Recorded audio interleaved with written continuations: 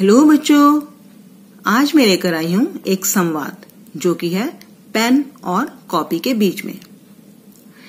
Pen कह रहा है, बहन कॉपी, क्या हुआ? आज तुम बहुत उदास लग रही हो।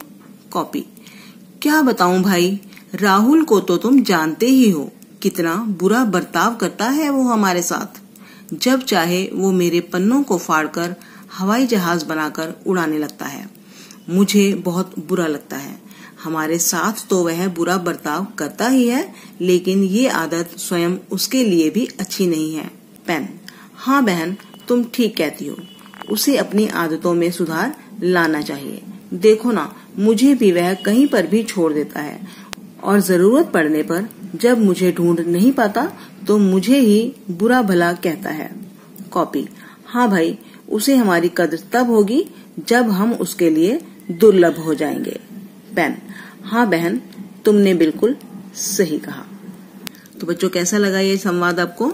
उम्मीद है पसंद आया होगा। और अगर आपको पसंद आया है तो वीडियो को लाइक और शेयर करना बिल्कुल ना भूलें।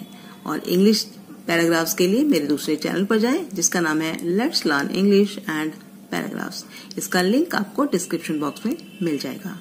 Thank you